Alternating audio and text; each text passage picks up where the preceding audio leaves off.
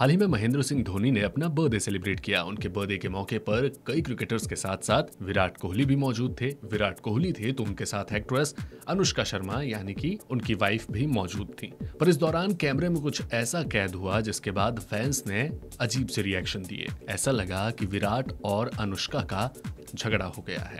नमस्कार, मैं हूँ अभिषेक, स्वागत है आप सभी का हमारे चैनल पर। भारत और इंग्लैंड के बीच हाल ही में दूसरा टी मुकाबले में भारत पाँच विकेट से हारा। लेकिन पूर्व कप्तान महेंद्र सिंह धोनी के सैंतीसवें बर्थडे पर ऐसा कोई भी माहौल नहीं था, जमकर एंजॉय किया गया और किया भी जाना चाहिए था। सो ऐसे में पूरी टीम ने केक काटकर खुशी के इस मौके को सेलिब्रेट किया।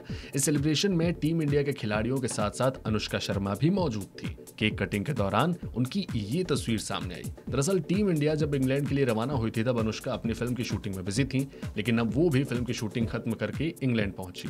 हाल ही में विराट अनुष्का की भी कई तस्वीरें घूमते हुए साथ में नज़र भी आई थी। लेकिन इस तस्वीर में अगर आप विराट और अनुष्का पर जरा गौर करेंगे तो आपको पता चलेगा जहाँ महेंद्र सिंह धोनी अपना बर्थडे सेलिब्रेट कर रहे हैं, केक खा रहे हैं, खिला रहे हैं, वहीं पर विराट और अनुष्का के चेहरे के हाव भाव गुस्से में नज़र आ रहे हैं। दोनों एक दूसरे को गुस्से से देख रहे हैं, और ठीक ये वही वाले हाव भाव हैं जो पति पत्नी के बीच झगड़े को लेकर होते हैं, किसी शिकायत को लेकर होते हैं। ज़रूर ऐसा कुछ हुआ होगा, जिसके लिए दोनों एक दूसरे को आँखें दिखा रहे हैं।